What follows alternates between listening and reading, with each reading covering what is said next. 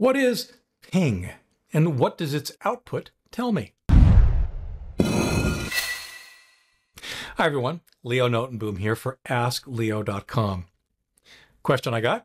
Sometimes when I search for solutions for my home networking problem, I frequently see people suggesting that I ping my PC by IP and or by computer name.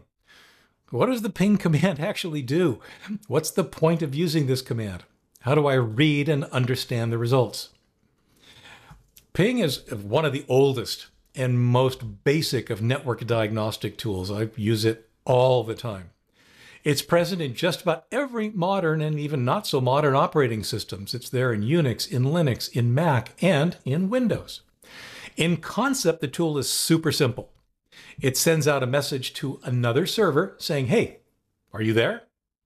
And that server should respond with, yeah, I'm here. If that response doesn't happen, then there are some things we can use to tell us what might be going on. So ping is a command line tool. So I'm going to go ahead and fire up Windows Terminal here. The syntax is super, super simple. Ping Google.com in this case, right? You're pinging a domain name. You're pinging the name of um, a website or a service or a server on the internet. Once you do that, what happens is multiple steps here. The first thing that it does is it tries to turn google.com into an IP address. So you can see here that in this case, it has mapped google.com into 142.251.33.110. Then it sends a message to that IP address. In this case, it sends 32 bytes of data, which is the default, and it then lists the replies that it gets and how long they took. So in this case, Ping sent its first request and got a reply in 38 milliseconds later. It sent another request and got it back in 51 milliseconds. It sent another request and sent it back in 41 milliseconds, and so on. Now, in Windows, the default is for ping to only do it like four times or five times. That way, eventually, it's going to stop. Other implementations, typically on other operating systems, may have other uh, defaults. I know that there are some that will just keep pinging until you tell it to stop. And the way you tell it to stop is typically Control C. So let's look at these little pieces first. Pinging google.com with an IP address. Like I said, Ping only knows how to deal with IP addresses. So the very first thing it needs to do is take the domain that you've given it and look up the corresponding IP address. If you want, you could absolutely say ping 142.251.33.110.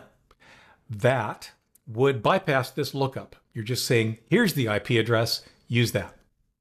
If this lookup fails, in other words, if you try to ping google.com and it tells you, I, I have no idea what google.com is, I can't map it to an IP address, that tells you right there you've got a problem.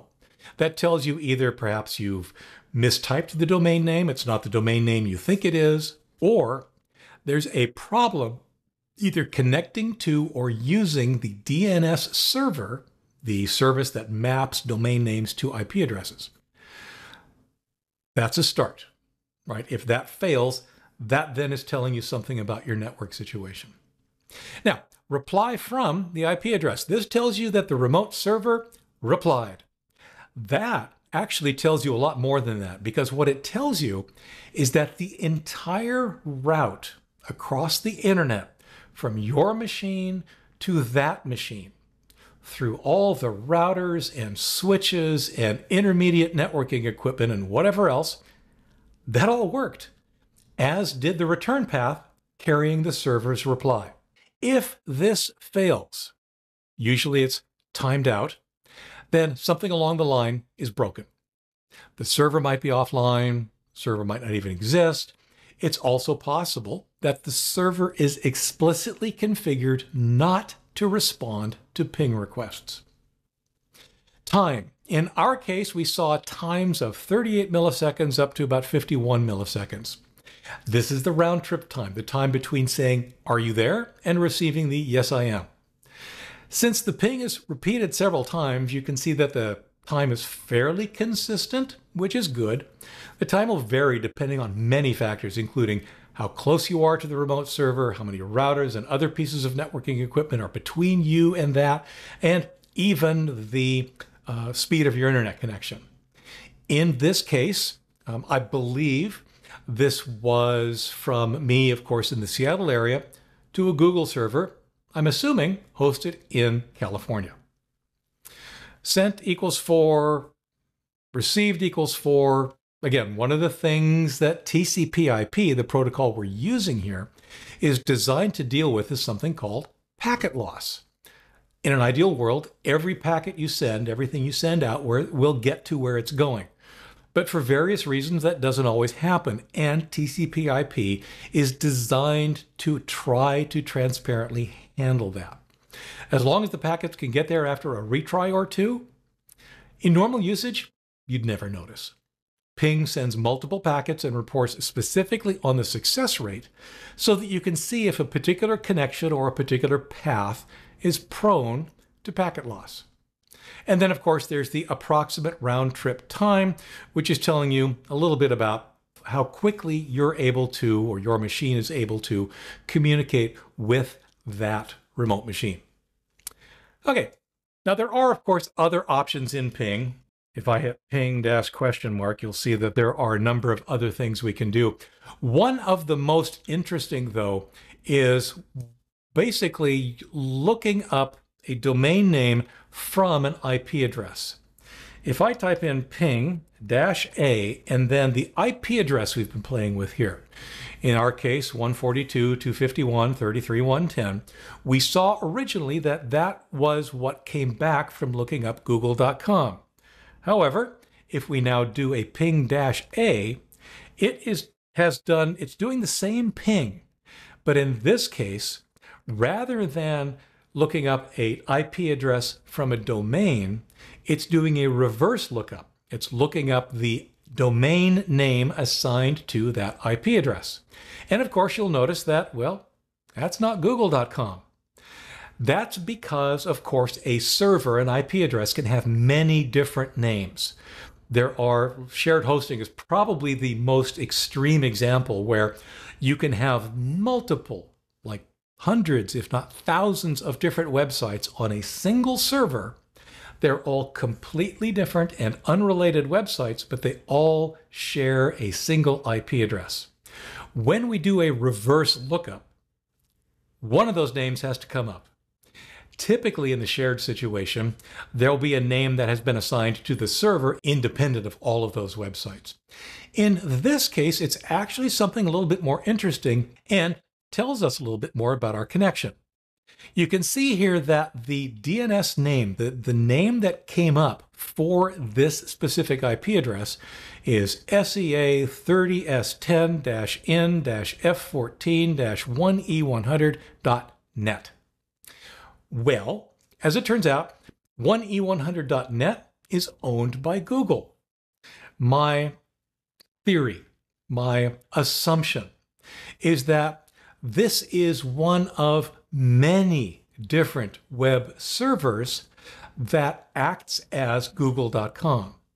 And even more so, because this begins with SEA, I believe that this server that's actually handling my request of google.com lives closer to me than California. My belief is that it's sitting in a data center in or around Seattle.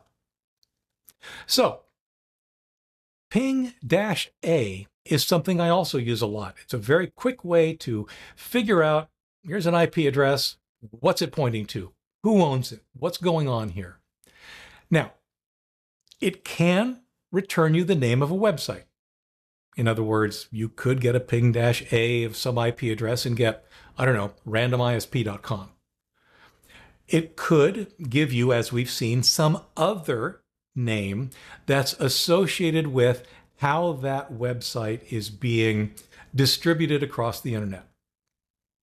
You could get the name of another website completely unrelated to what you think you're pinging because it's on a shared server. And of course, you could get nothing at all.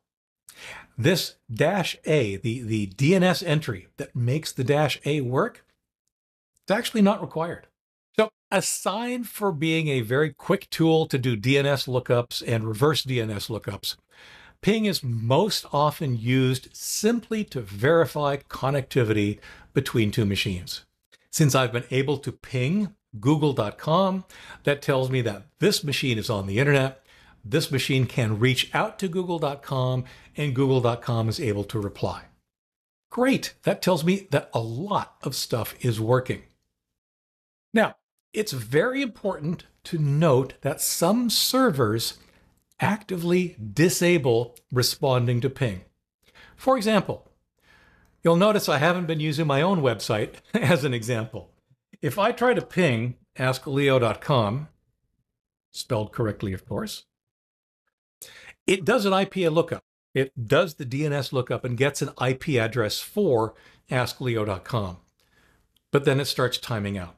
This is an example of a failure. So, in a sense, this tells us that we can't communicate with askleo.com. And yet, of course, we can. There it is in a web browser. What's the deal? Well, right now, askleo.com is actually behind a content delivery network, not unlike what Google has done with theirs. And that content delivery network has ping disabled. It will not respond to a ping. So that's not a great site to use for these kinds of tests. Using something like google.com or any of the others that generally work, much better. But do understand that a positive response from ping tells you that things are working. A failure on ping tells you that things may or may not be failing. And you need to do a little bit more research. So, bottom line, yeah, give it a try. Try playing with ping. See, seriously, have a look at what ping of google.com looks like on your machine. You can also ping other machines on your network, on your local network, to see if they can see each other at this basic level. It's yet another tool in your networking toolkit. For updates, for comments, for links related to this topic and more, visit askleo.com slash 20789. I'm Leo Notenboom, and this, AskLeo.com. Thanks for watching.